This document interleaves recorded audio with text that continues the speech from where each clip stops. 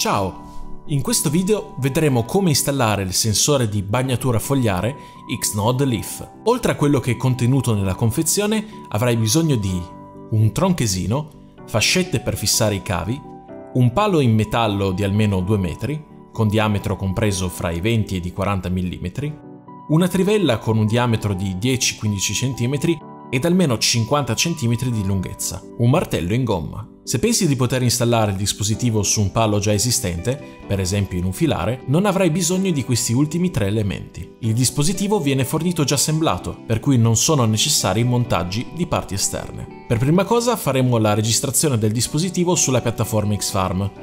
Leggi il codice del dispositivo ed apri l'applicazione Xfarm. Una volta entrato nell'account della tua azienda agricola, vai nella sezione sensori, clicca sul bottone più usa la mappa per selezionare il punto in cui installerai il tuo sensore, inserisci un nome con le identifichi, scrivi il codice letto sotto la scatola bianca e seleziona il tipo di sensore acquistato.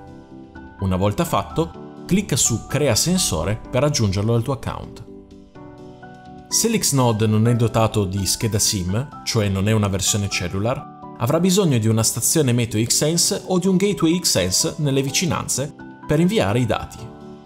Avvicinati quindi ad uno di questi dispositivi per continuare con una prova di connessione. La copertura del segnale dipenderà dalla versione della stazione meteo e dalla presenza di ostacoli, variando da 1 a 5 km circa. A questo punto prova ad accendere l'Xnode premendo il pulsante esterno della scatola bianca, controllando che il LED al centro del pulsante lampeggi velocemente. Se questo accade, conferma che la batteria è carica e il dispositivo è pronto ad essere installato in campo dirigiti in campo e trova il punto migliore per installare il dispositivo, avendo cura che non ci siano ostacoli nelle vicinanze che potrebbero interferire con il segnale. Fissa il dispositivo Xnode su un palo di supporto con le due fascette lunghe, avendo cura di orientare il pannello solare verso sud, in modo che l'efficienza energetica sia massima. Fissa la foglia elettronica con le due fascette piccole e controlla che sia esposta a 45 gradi, con gli elettrodi, cioè la parte righettata, verso l'alto e la parte con le scritte verso il basso.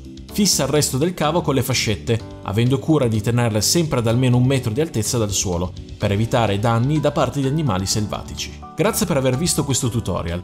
Iscriviti al canale YouTube di Xfarm per continuare a rimanere aggiornato con nuovi video e visita www.xfarm.g per maggiori informazioni.